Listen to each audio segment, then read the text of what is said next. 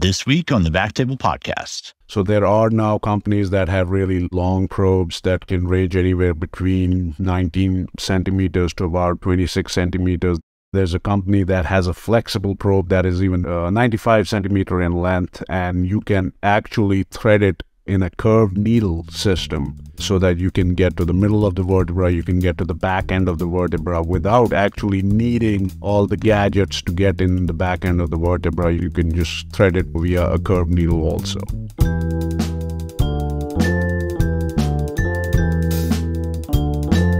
Hello, everyone, and welcome to the Backtable Podcast, your home for all things interventional and otherwise minimally invasive.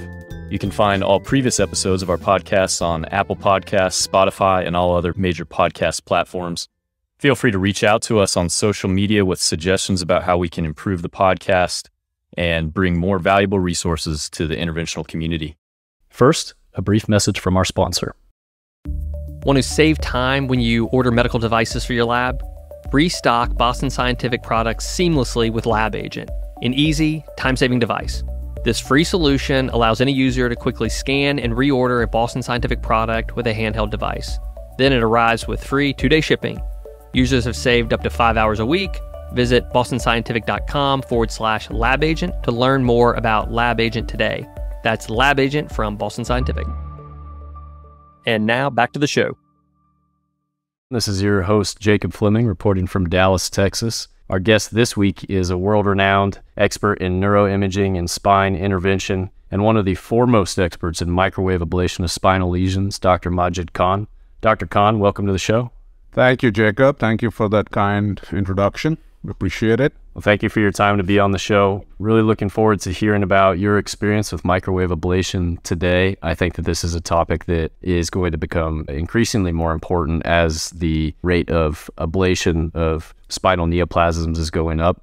And we look forward to hearing your expertise and your perspective using this modality. But before we dive into that, I'd like to just hear about your background. So, could you tell us a little bit about where you've lived, trained, worked, and anything else?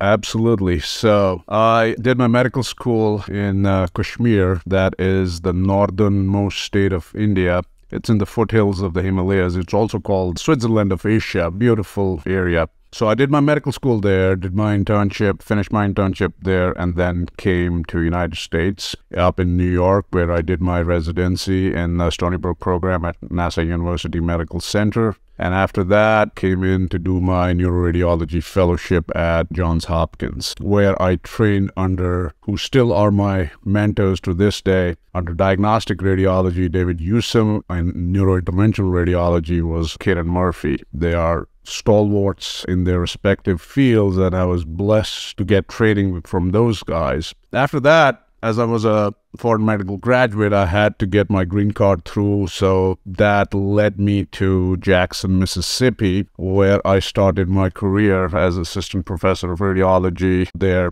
And I really enjoyed my time down in the South. And so I had trained under Dr. Murphy at Hopkins, so I knew the basics of spine intervention, but didn't do it for a few years into my practice. But then, as uh, spine care became a part of interventional realm, that's when I realized that it's time to get into this. I was doing vascular interventions still then, and that's when I shifted over to doing spine interventions at, at Jackson, Mississippi. So that was about I started this around, I would say, probably around 2011, 2012. And just having that basic knowledge of spine interventional procedures, really, you know that there's not much of a fellowship that is being offered at, in, there are a couple of centers that are offering that, but most centers do not offer. Now, it times have changed. Back then, there was nothing really. So you literally had to self-train yourself. And that's how most of us have done is we have self-trained ourselves into doing these interventional procedures. And thank God, uh, it's now come to a point now that it has become a real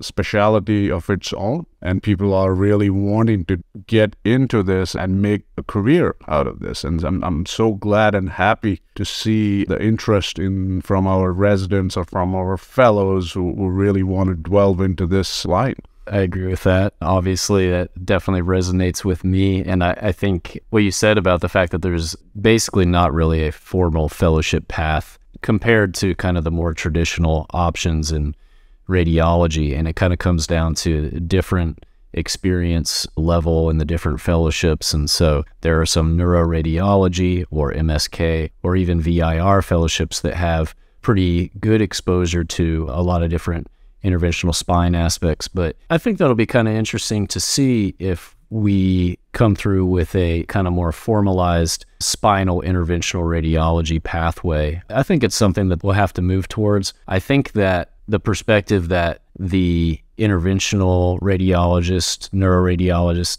brings to it means that it's different than interventional pain fellowship kind of per se. I think that the clinical aspect is definitely important, but I noticed that you and some of the other experts in this area, people like Jack Jennings, Doug Beall, Dan Wynn, and other people, are really doing things that are really fall under the realm of the the history of IR, which is pushing the envelope a little bit and taking something from the toolkit that's traditionally used for a certain kind of problem and saying, okay, how can we apply what we have available for this patient specific problem?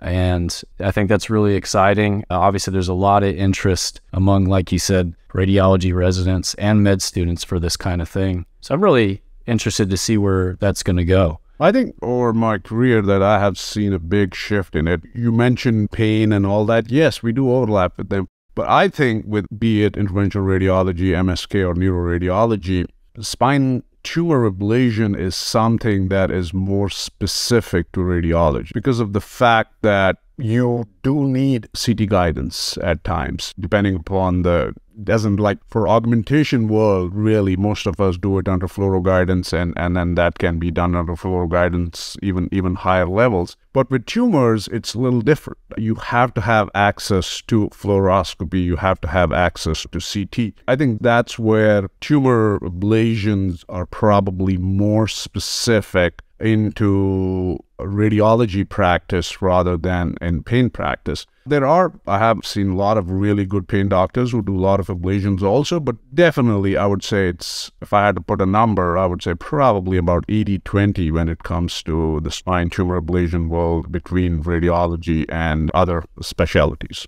You know, it's interesting. I've just finished up the last four weeks being on the PET CT service so, really, just cancer related things all day. And one thing that I had kind of this realization that I think in retrospect it's a bit obvious, but no two cancer patients are the same. And of course, as individuals, that's completely true. But even when you look at specific subtypes of cancer, the presentation and the location of tumor, multiplicity of tumors, all these things are so different. And they each require, I think, a bespoke approach and really have to have those fundamental skills under fluoro and CT guidance available. I know we're probably doing a lot of preaching to the choir. And the one thing I will say, kind of related to that, is I think that radiologists are definitely uniquely positioned to continue to be involved in interventional oncology. I think that as a field, we do need to continue to push to be more clinically involved. And I think that there's been more of a movement away from the kind of situation where it's like, oh, well, you know, just send the case to me and I'll do it. These patients are so complex. They have a lot of different things going on. And like Dr. Manfrey has said in a prior episode, just because you have a gun doesn't mean you need to shoot. And so deciding when and whether to do the procedure, and then pertinent to this topic today, what tool to use to do it. These are all very important things, and we have to be the ones making those calls. Absolutely. You brought up a very good point in regards to the cancer care and how we fit in. I really think, as we know now, if you are doing intervention of any sort, not only spine, if you're doing body interventions or any, the days of us being involved and just doing the procedure only and then returning the patient back to their referring physicians is long gone. We own these patients as much as they do. So if you get a referral for a patient, tumor, onc, fracture, pain related, whatever it is, you own that patient. That's your responsibility. If you're doing the procedure, if God forbid there's any complication that happens, immediate complication, late complication, that's your problem. You can't be saying, hey, go back to your referring and he'll take care of you. So that brings a very important point that for the modern day interventionalist, two things are very, very important that you have to have your clinic where you see these patients pre procedure or pre surgery and post surgery. So you have to do your follow up with these patients. And now we are seeing that radiologists are never used to be having access to patient admission. But we need that. We need that at least short stay admission privileges in hospitals. So that's something if if a young person is aspiring to become an interventionalist of any sort, spine interventionalist or any interventionalist, these are the things that they should be discussing with their practices or with their hospitals that hey, these are the requirements of modern day interventional service to really thrive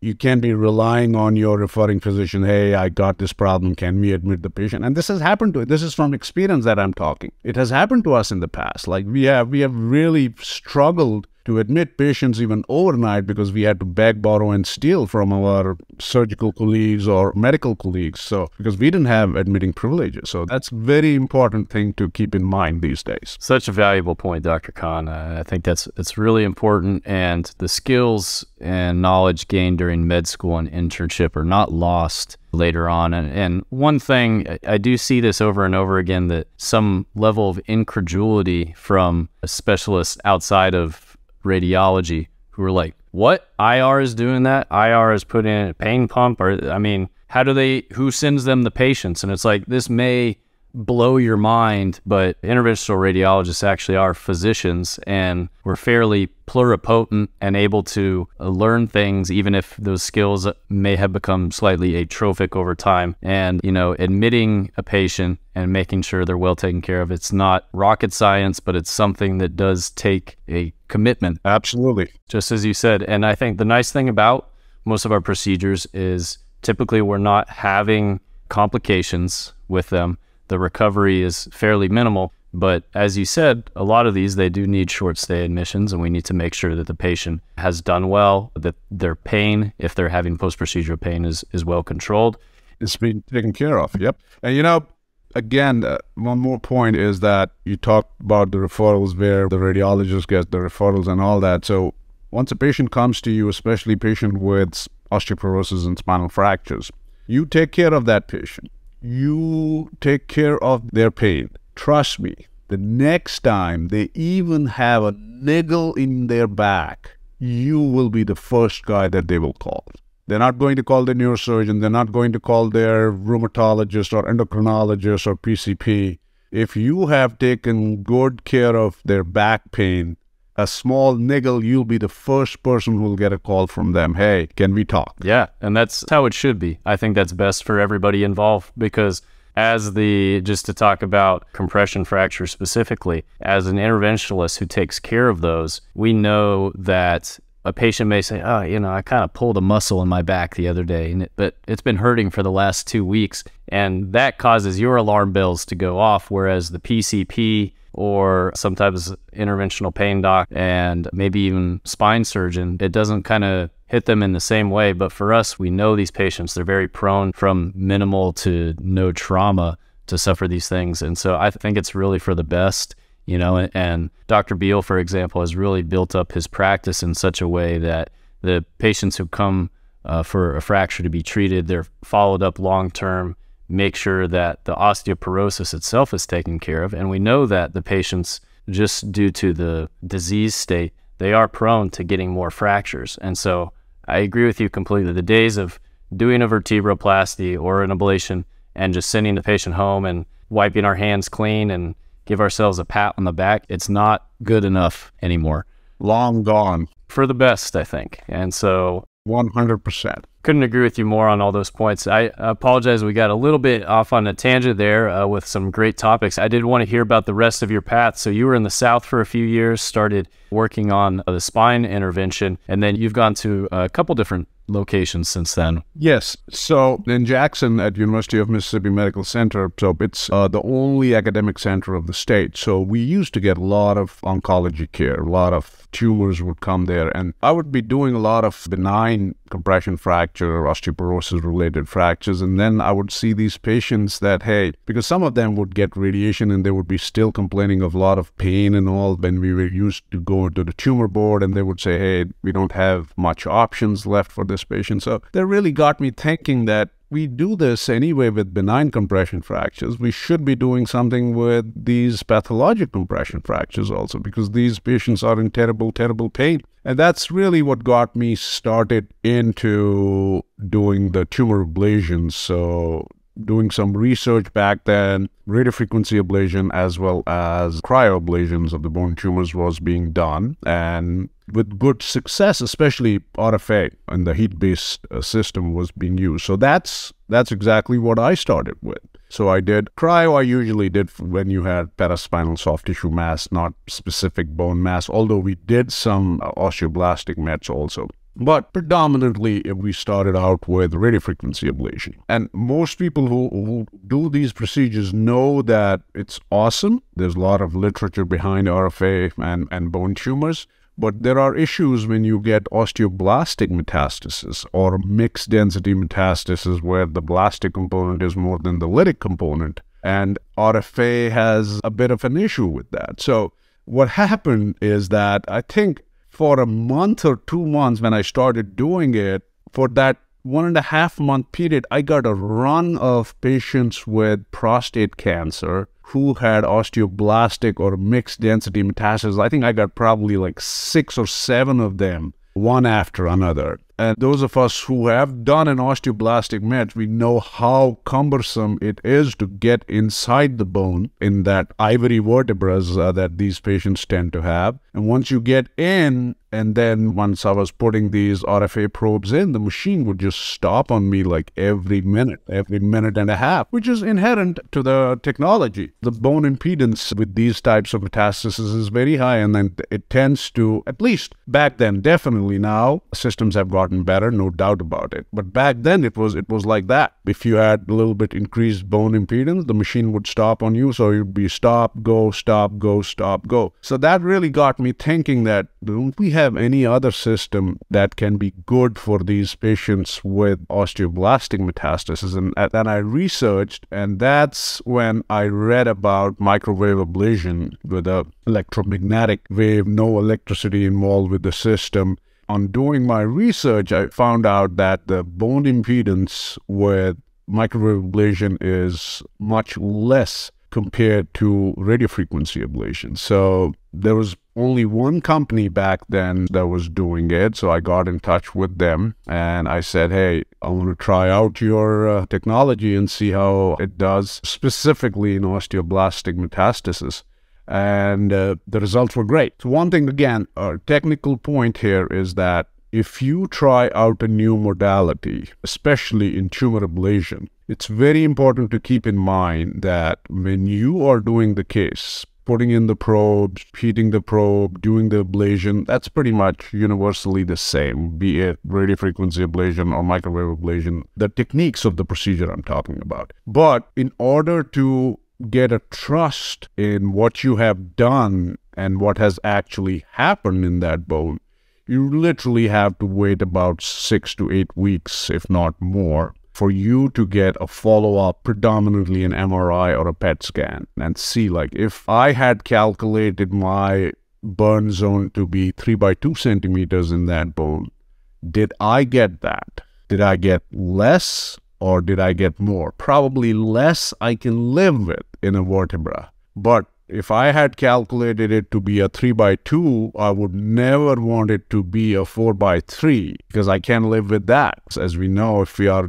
spinal cord is there, nerves are there. So in order to get that trust in any new modality of ablation that you're using, you just cannot say, hey, the case went well, and this is a good thing to have eh, in, on my shelf You really have to wait all these weeks and see the ablation zone, what it has done on your follow up imaging. So when I did that with my few cases early on, at least five cases, I was very happy with the results. The patient follow-up was great. Imaging follow-up of the tumors was great. And I thought that now I do have something in, in which that I don't have to really think about should I go for cryo just because it's blastic metastasis or should I go for RFA because it is more lytic metastasis. I have something that is actually good for both lytic as well as blastic metastasis. And that's how I landed up with microwave ablation. And I tell you, after that, literally, I've been using microwave for the last 10, 12 years, probably performed the most number of microwave cases in in US definitely I don't know but maybe in the world also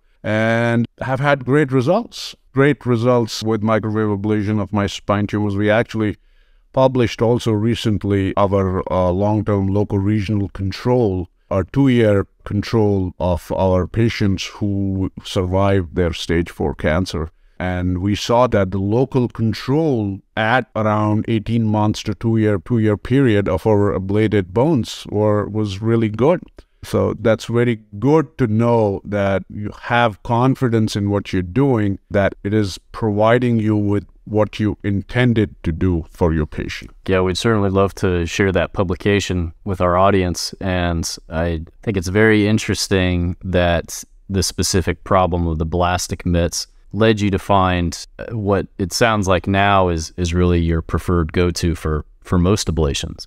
Yes, absolutely. Now I do still do radio frequency ablations also, but I would say overwhelmingly I am doing microwave ablations.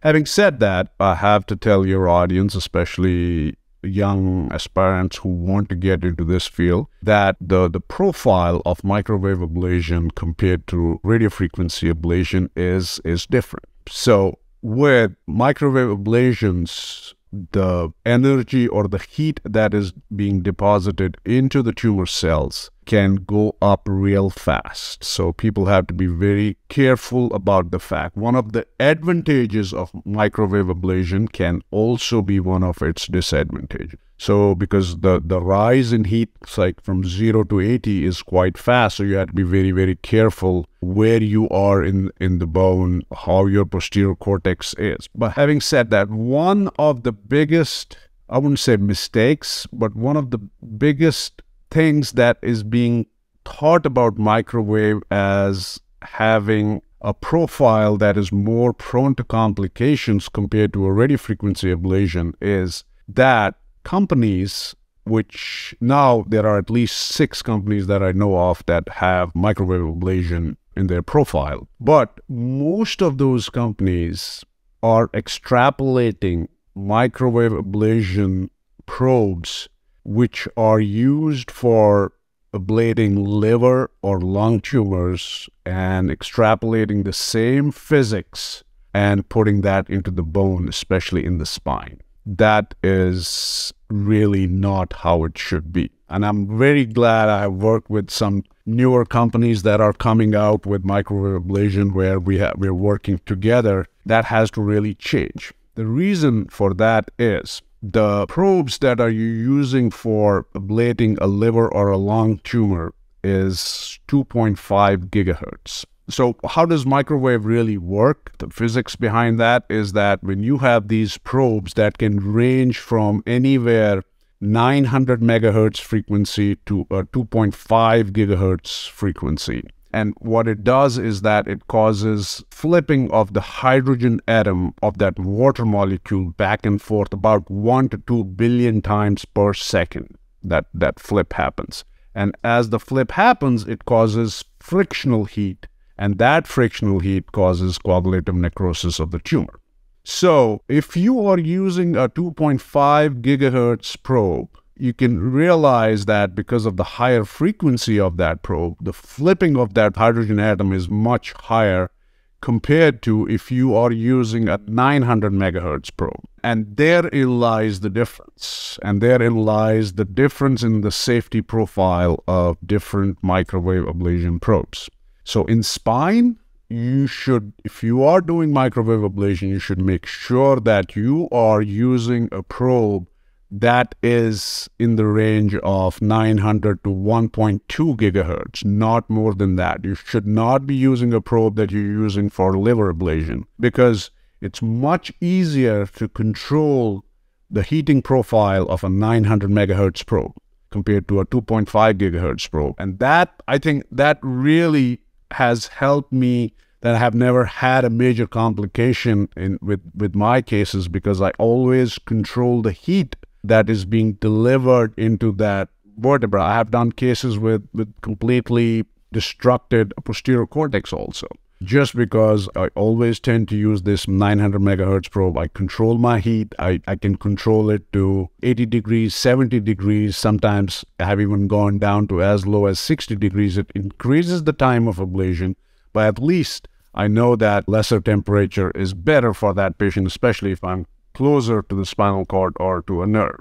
So that's one very, very important thing to keep in mind, if especially if you're going to use microwave ablation in your bone tumor ablation cases. The second is, which is universal anyway for radiofrequency ablation or microwave ablation is that using your protective uh, devices, whether you do active or you do passive uh, protection. By that, I mean uh, putting in thermocouplers. If you are close to the posterior cortex, your posterior cortex is broken, make sure that you have a thermocoupler in the epidural space. Make sure you have a thermocoupler in uh, right next to the neural foramina, right next to that nerve. So that's very important so that you'll get a temperature at the back end where it really matters. We know from data that thermal injury to neural structures happens around 40 degrees centigrade. So if I have a thermocoupler in and I get a reading of around 38 or so in my thermocoupler, I immediately shut off the machine,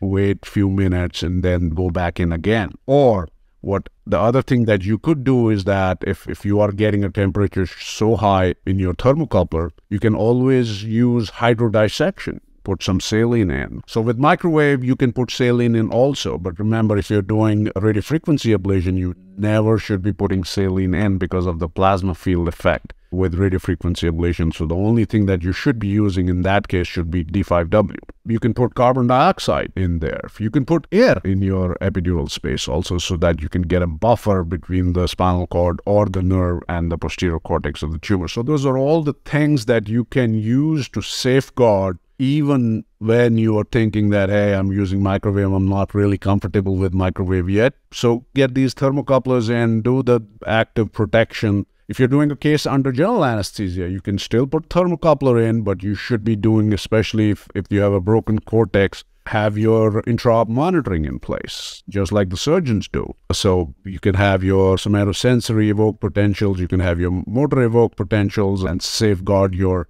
spine, safeguard a particular nerve that you're concerned about. So there are many ways of safeguarding what you are intending to do if you are closer to the spinal cord. In that regard, there's not much of a difference between the safety profile of a microwave compared to radiofrequency ablation. People are more more concerned because there is more literature behind RFA as there is compared to microwave ablation. It's really a new kid on the block. But I'm really glad to see a lot of spine interventionalists now have started to do microwave ablations. Some of my dear friends who were hardcore RFA guys, they have now started to do microwave ablation and that makes me very happy because it's something that we should have on our shelves and should we should be trying it out especially in our osteoblastic metastasis, and you will definitely see the difference in the profile between an RFA ablation of an osteoblastic and a microwave ablation of an osteoblastic met.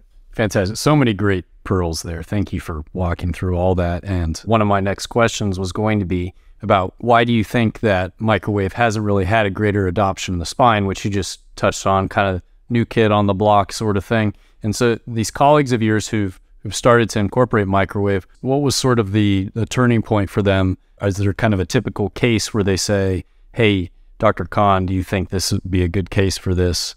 So recently, I got a couple of calls from my friends who, who said that, hey, I have osteoblastic metastasis. I really want to use microwave. And they called me up and they said, hey, what, what do you think? What should I be doing about the safety profile? So the first thing I told them was, was this, the probe. That's very, very, very important because you cannot control the safety profile of a 2.5 gigahertz probe in a bone, especially in a bone where your posterior cortex is broken. So I told them select the proper probe. And then honestly, if you have a 800, 900 megahertz probe or even a 1 gigahertz probe, the safety profile is much, much, much similar to an RFA. That's the point. That's very, very important difference between how, what you select and what the frequency of the probe is. That's very important. Would you say when starting out, say someone who's experienced using RF ablation in the spine, and when starting out with microwave, would you say there are types of cases that maybe should be avoided at first until they're more comfortable with the modality, types of uh, anatomic factors? Just like anything else. The other day, I was sitting with one of my fellows who is going out to be spine interventionalist. Actually, he's coming to your hospital at Southwestern. Him and me were talking, and he said that, okay, tell me now if once I once I get out there and I'm on on my own, how should I tackle cases? And the advice I gave it to him is the advice I gave it all of our trainees is that the first five or six cases that you do, make sure that you're very comfortable in your own space doing those cases. You should not be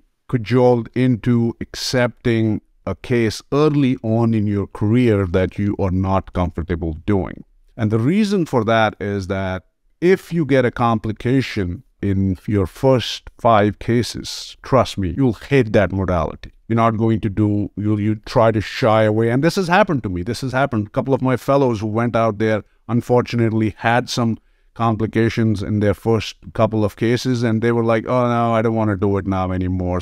So you don't want to lose that confidence very early on in starting your career. So select your cases very well be confident about your cases and that's exactly the same i would i would say with microwave ablation. You don't have to do your first case with a blown out posterior cortex or a blown out lateral cortex right close to that neural foramina. Select your cases get your confidence level up and once you get your confidence level up it's you telling yourself hey i can tackle this one now. No one else should be able to tell you oh do this C7 with a broken posterior cortex. That should come from inside of you. No, I have done many now. I can easily tackle this case and do this because I have everything set. I know what's the profile of my device, what are the things that I should be using.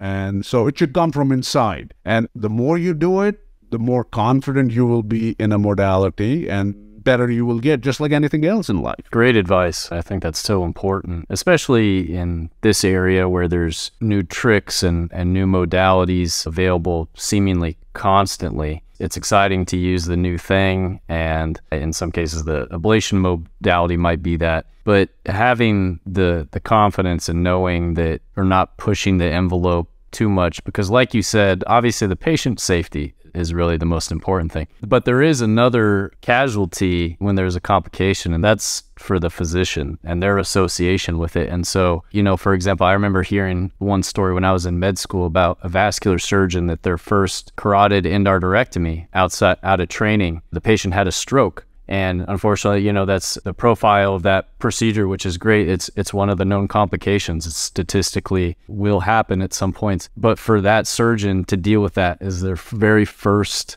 procedure on their own and having to deal with that, that is a Herculean task to work through and build back up the confidence. And it harms other patients in that this physician who is probably technically very good no longer feels safe offering microwave or, or whatever it is to their patients. So I think that's such valuable advice to kind of start slow and build up the confidence and go from there. Like you and I were talking about a few moments ago, these oncologic patients are so different. And just because a patient does have, like you said, a C7 tumor, it doesn't mean that it needs to be ablated. And if it's something that can be done and can be done safely and the interventionalist is comfortable with that, then that's a great thing. But sometimes better to say no at a given point in time.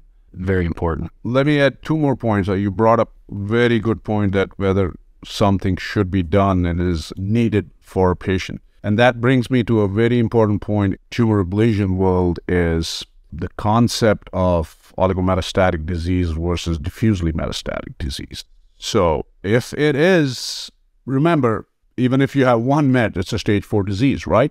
You doing something is not going to cure the patient. But if you have a patient with diffusely metastatic disease, your goal is pain palliation with all the interventions that we do in spine. Pain palliation is our number one goal.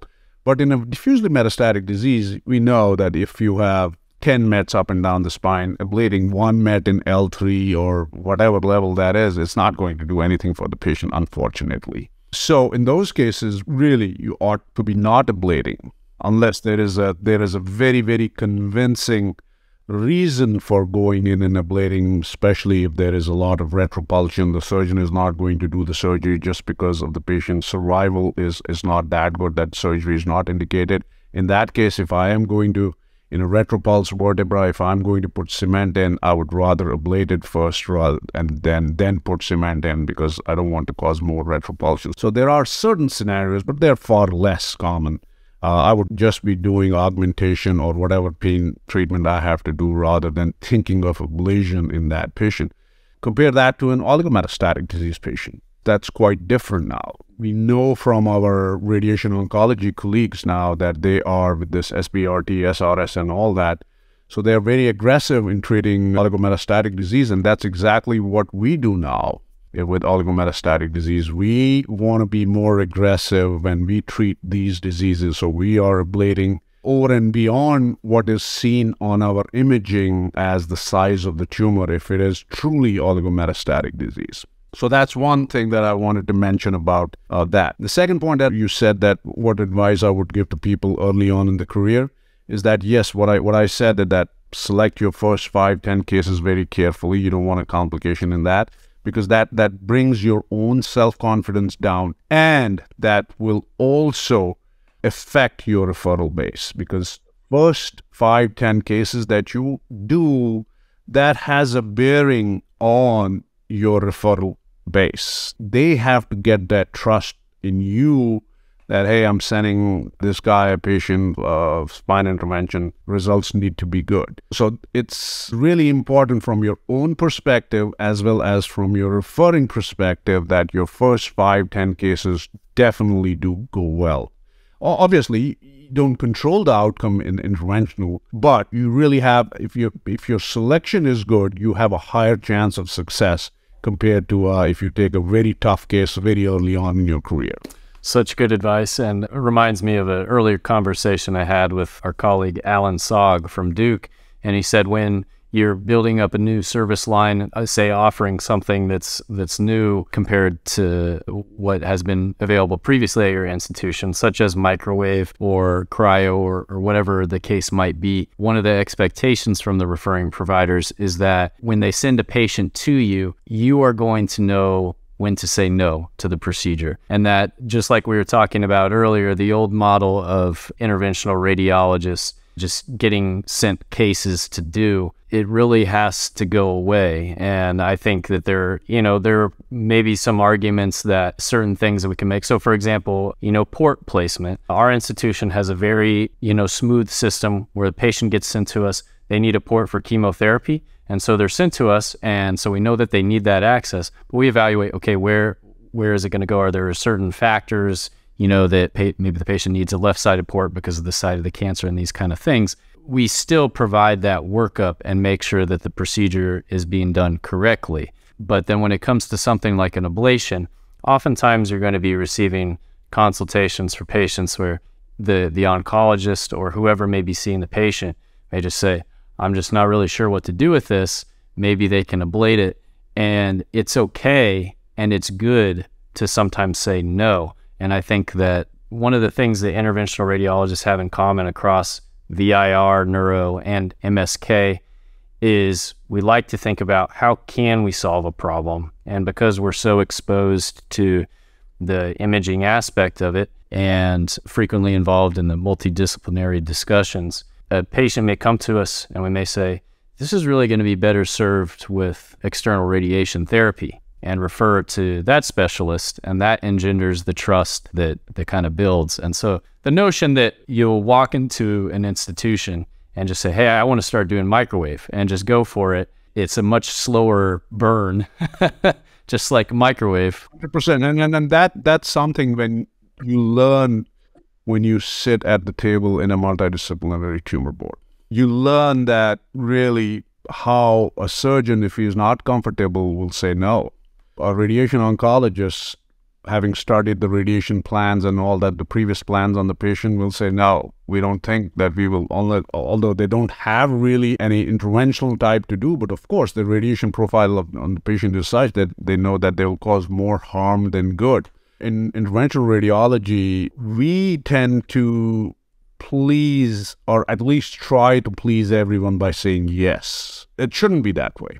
Even at this point in my career, having done quite a few of these, I am not comfortable with doing a case because ultimately it's the patient that we have to think about. We don't have to think about a patient as just a tumor that we can get into and treat or not treat.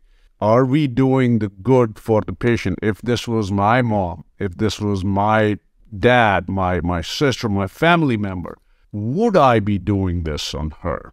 Because knowing whether whether this will have a bearing on the outcome. So you, we have to keep those things in mind. We have to start thinking from that perspective. We don't have to just think about can i get my needle in there? We trust me you can get a needle anywhere in the body.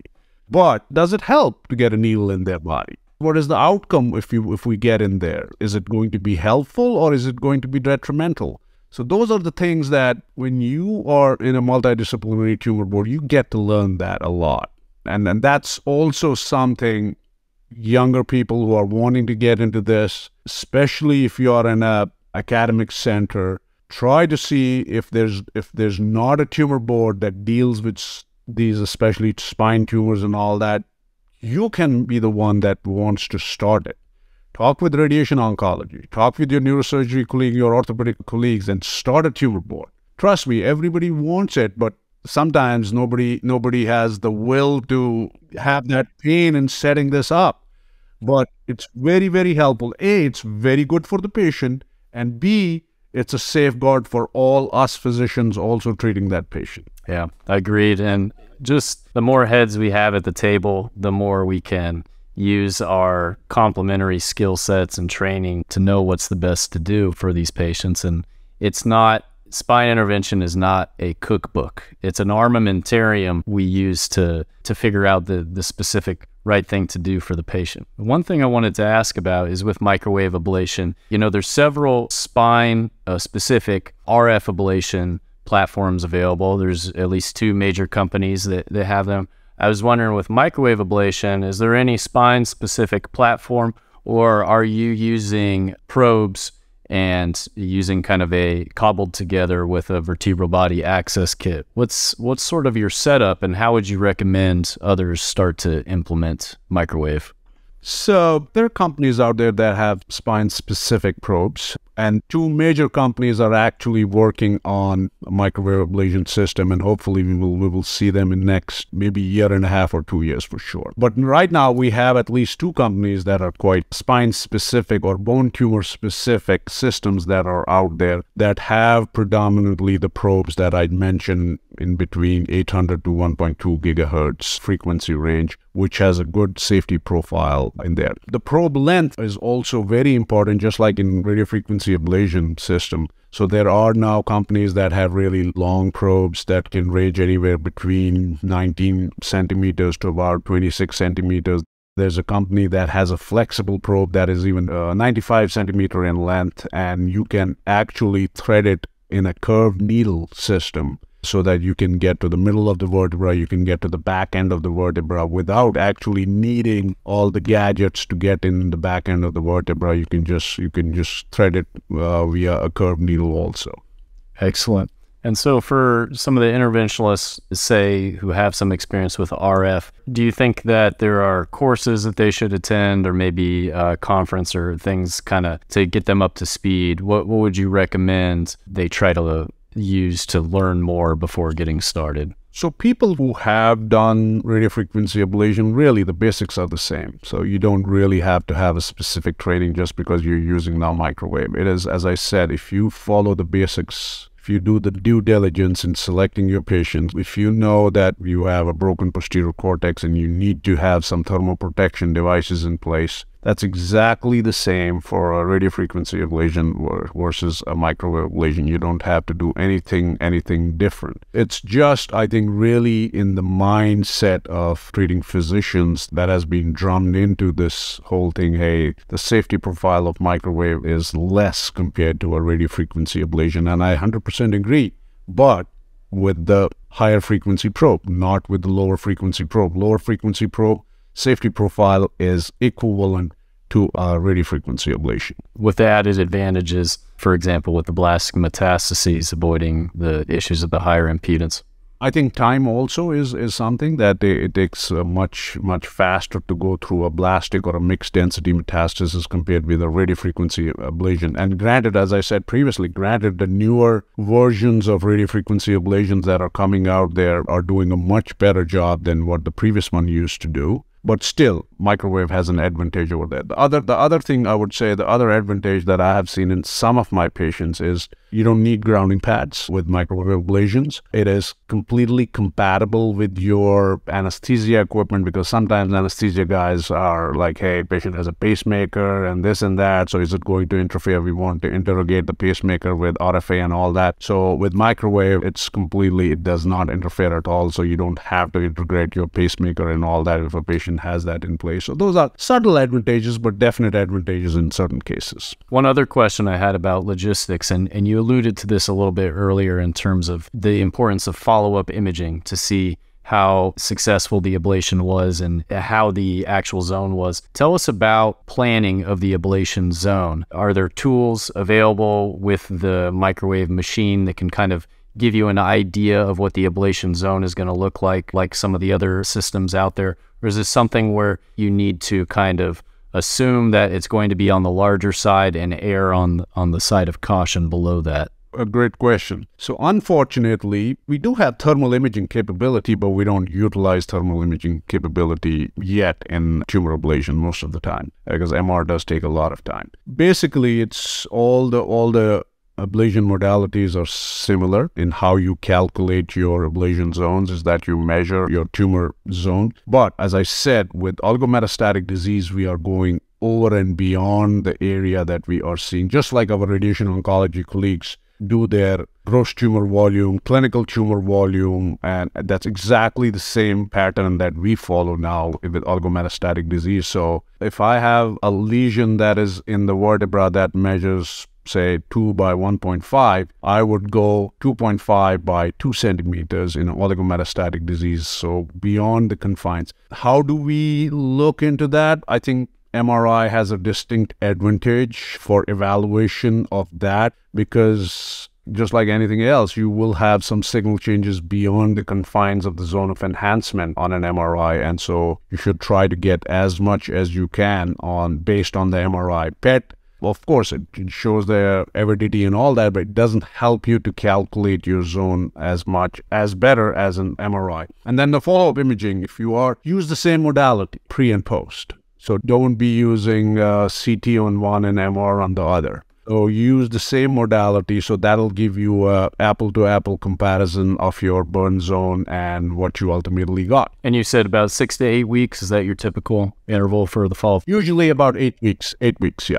Well, Dr. Khan, that was good. That's all the questions I have on microwave ablation. Any other additional thoughts on the topic? That's pretty much it. As I said, that now if you look at the paradigm of treating metastatic disease of the spine, we interventionalists have gotten on that paradigm. And more people will do it, the higher in that paradigm will we be able to get or achieve. So really, this is something not very hard to do with good technique, good initial education. There are now centers all over the country that that provide, especially especially if you're interested in doing this. There are many people across the country that do a whole lot of these tumor ablations, so you can and everyone is accessible. You can call them, you can ask them if you have any questions. I get calls from all over asking questions, and I'm very happy to answer all the questions and telling people what I have. As, as I said, we most most of us have been self-trained and we have learned from our own cases and our own experiences, and I think that's probably the best way to learn. So we can share our experiences with the younger folks, and anytime if you have any questions, pick up the phone, email us, and we'll be happy to guide you because we want you to be doing it whether you are a private practice world or you are in a academia world we want you to be doing it it's good for the patients and it's good for us as a, as a service also agreed completely and I, i'll say my experience has definitely been that uh, you and the others in uh, the, the so-called bone club in the world of interventional radiology are all eminently approachable, uh, have been uh, just incredibly helpful, and it, has been great being able to have some of you on on the podcast here. I think that the experience that you've had, being able to disseminate that, especially you, you have such an extensive experience with microwave. Getting this information out there, I think, is really going to get some people to think about how their their practice might benefit from it. Thank you, thank you, really, because I, I, really appreciate you giving me a chance in doing so. Thank you. Absolutely, and I did want to talk about a couple more topics that I am particularly interested in. This next one, I'm particularly passionate about, so I'm gonna I'm gonna do my best to restrain myself and remain dispassionate about this. But I think that you and I are of like minded on this. I've seen cases shared on social media, LinkedIn or Twitter related to essentially the delayed treatment of vertebral compression fractures. And this is an unfortunate, very prevalent problem. And I just want to hear your thoughts on this. Some of the very unfortunately kind of repetitive things that we see. What do you think is behind it? And how can we, our specialty maybe specifically, but as healthcare as a whole, how can we do better for these patients? Great question, really. And as I said, this is very close to your heart and very close to anyone's heart who is doing spine interventions. I think the answer, the shortest possible answer to your question is education. People still are stuck in the study of 2009, the NEJM articles that came out. And unfortunately, some some people are still stuck in that study. So one of my things that I tell my trainees that if you're going out there, arm yourself with the new research that has happened since 2009 because you will end up in a place where someone will tell you, hey, this is not beneficial. We have proven it. 2009 NEJM study has proven it. And unless you or have armed yourself with the newer research that has been done since probably 3,500 level one, level two studies have come out since 2009, and almost overwhelming majority of those studies have said that augmentation is better than non-surgical management especially in a acute slash sub subacute care setting. There are a couple of papers that have even come out and said that even in chronic phases, which is chronic in the bone world is anything over three months, is uh, augmentation is better. But definitely, no doubt about it, uh, the acute and subacute care augmentation is much better. Uh, but you re- we really have to. It's it's not something that we should take very. Although it is it is personal, but nothing is going to change by us quibbing about it that's being personal. We have to educate people. Tell them, hey, this is this is so giving grand rounds. Go to people, go to departments, go to endocrinology, rheumatology, geriatric medicine, neurosurgery, orthopedic surgery. Give grand rounds. Talk to them about. You don't have to talk to them about the procedural details. Talk to them about the 2009 papers. Talk to them what has what has happened since then talk to them what are the modalities that are available uh, now for treatment that have gotten much, much better over the past modalities. And that's really what we should be doing because there are many people out there in this day and age who don't know about osteoporosis. Patients. I'm so surprised that every month I have patients where like, oh, I wish I knew that I had osteoporosis. There are APPs that I talk to from other departments that say, we never knew that you can actually put cement in a fractured bone in this day and age. And so it's it's all surprising, but but then I, I look at it that it's it's time for us to educate them. And I, trust me, once you educate them, people are recipient to that idea. It's like ingrown, like just just stuck on those two papers that had huge implications in the augmentation world, no doubt, huge implications. In, but we really have to come out of that now and teach people that hey, this is the experience that we are having. This is the literature behind. We're not just saying it. This is the literature behind what we are saying, and you can change a lot of hearts that way. That's such good advice. And I, I agree completely. I think that it's very easy, like you said, for us to kind of take this personally. Say, how could they do this to the patient? How could they not offer this? And usually what it comes down to is sort of a, you know, variation of the old term that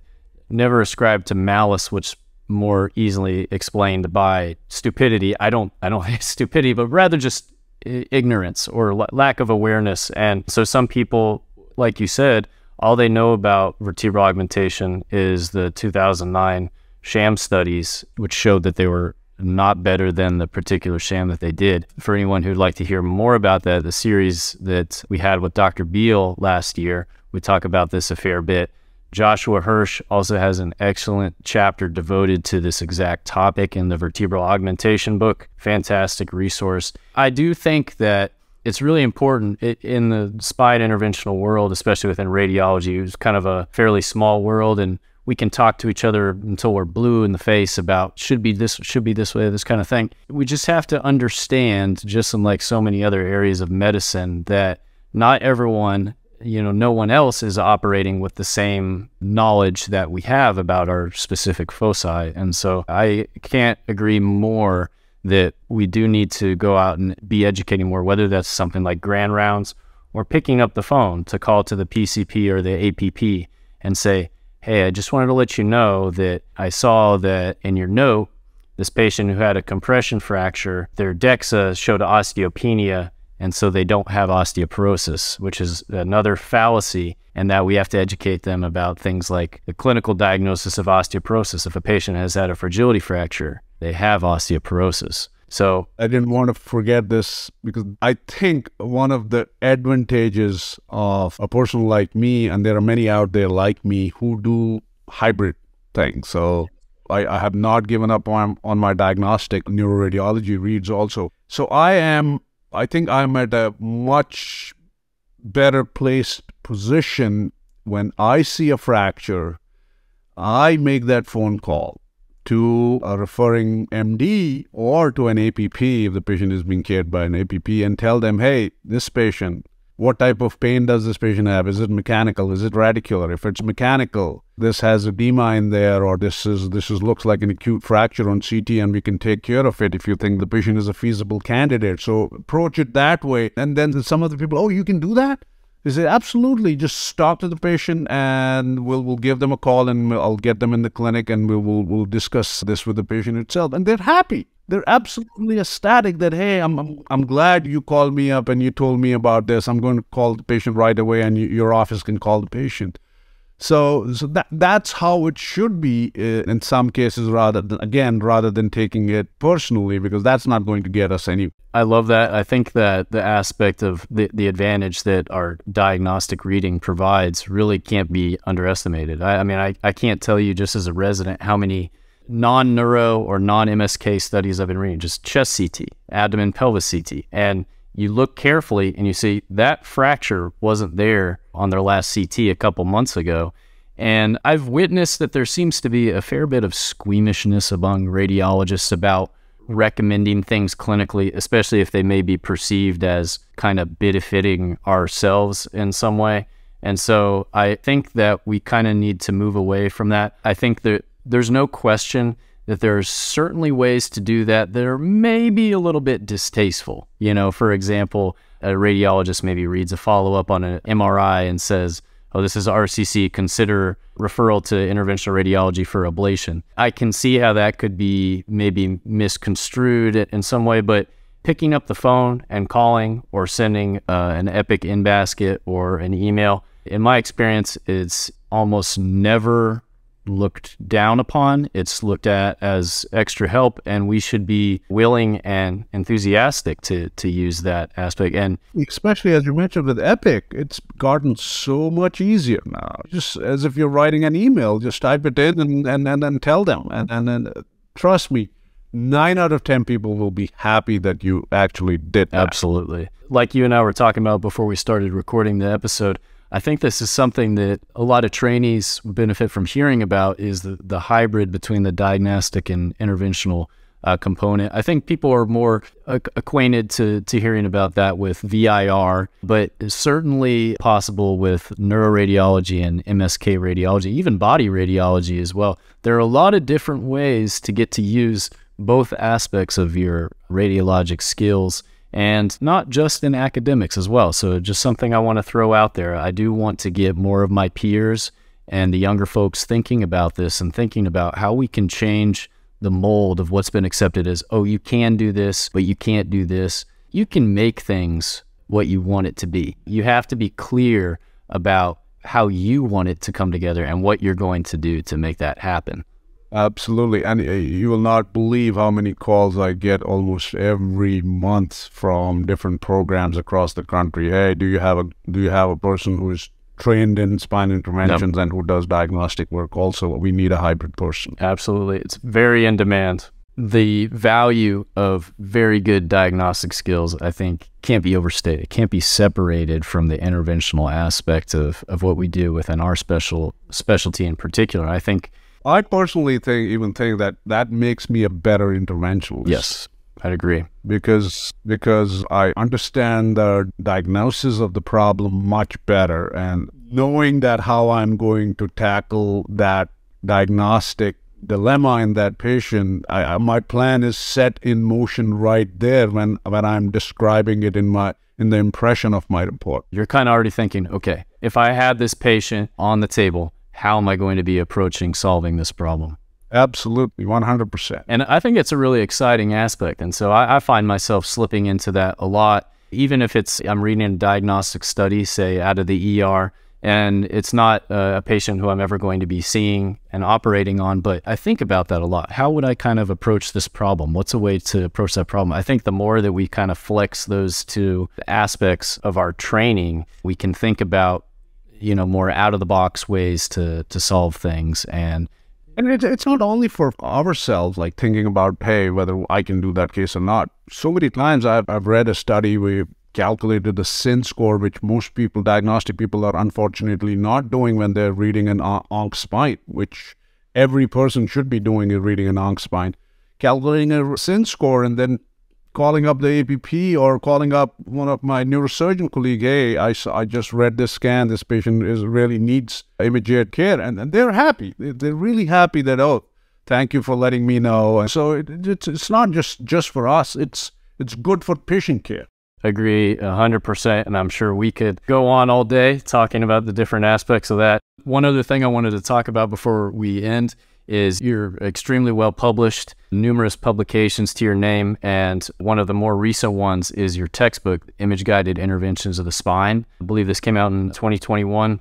Fantastic textbook published by Springer. There's no shortage of textbooks out right now about image guided spine interventions, image guided pain interventions and stuff. This one, I feel like there's there is something different about it though. But I want to hear your perspective. What was the impetus for putting in all the relatively thankless work of uh, putting together a textbook on something in, in, an area where there are so many competitors, so to speak. What was the impetus, and and what did you hope to have it stand out from the pack? What was was different about this that I really made a conscious effort of getting the leaders in that particular niche to write a chapter on what they have written about. So from this book, if you will see anyone who has written a chapter, they are known nationally or internationally for doing that particular modality. So I thought that would be a best way to directly hear from the guys who do this day in and day out and have their chapter out and, and, and write it the way they want to, to get their work published. Yeah, it's really an all star cast, and really it's extremely broad and deep in the way that it covers these different topics rather than kind of saying, oh, you know, here's how we, you would do an injection or something. It gets very quite specific on things, and, and I love how image heavy it is.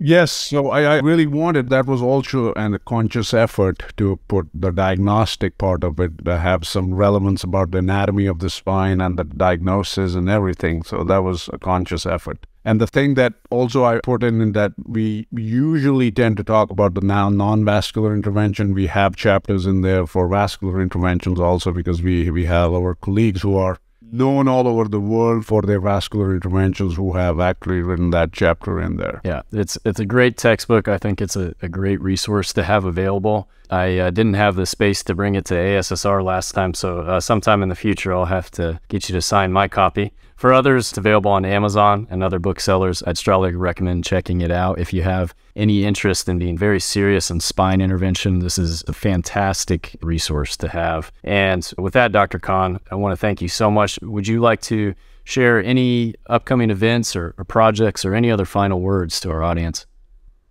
No, thank you very much. Uh, and for all the young trainees that are that are wanting to become spine interventionalist, be it spine interventionalist or hybrid. Uh, there are ways of doing it, and just pick up way whichever way you want to do it. One of the especially easier way to get trained really and see the whole armamentarium that we offer in spine intervention is probably attending uh, American Society of uh, Spine Radiology conference we have workshops and we try to showcase almost every procedure that an interventionalist has to offer uh, in spine care. So if you are interested in seeing what is being offered, I think that conference and that workshop is probably a really good way to start and get an idea if you're not really sure about what's being offered and what's not being offered. I definitely second that recommendation. Having uh, been at the the most recent conference this February, the workshop was fantastic. Uh, just really rapid fire, working with phantom cadavers and getting to use all the latest and greatest. It was a really great assortment.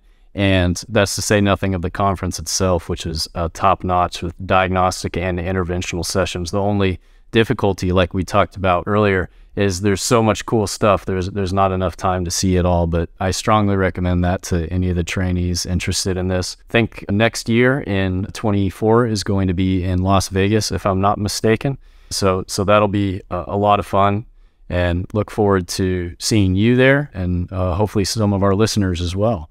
Dr. Khan, thank you so much for your time. I'm sure that our audience is going to get a lot of benefit from this topic, and I've thoroughly enjoyed getting to talk to you myself.